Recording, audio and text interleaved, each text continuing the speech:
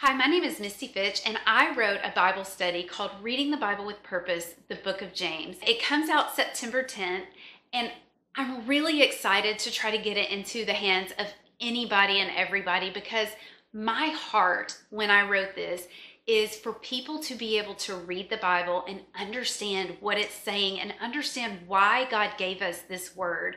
Because as a former small groups pastor and as a small group leader for pretty much my entire adult life, I hear the same thing from people from teenagers all the way to my age or even older. I don't understand the Bible when I read it, so I just don't read it.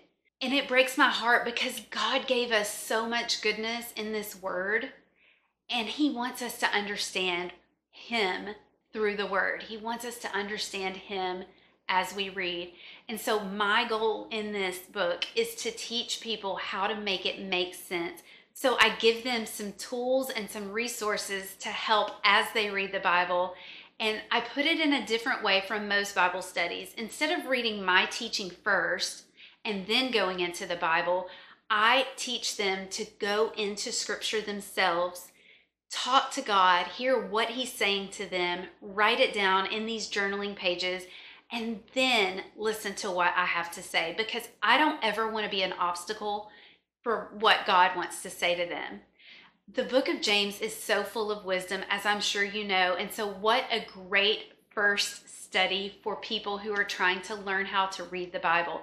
But it's also a great study for those who have been walking with Christ their entire lives. So, the way I designed this is it is for the newest Christ follower and it is for those who have been walking for a very long time.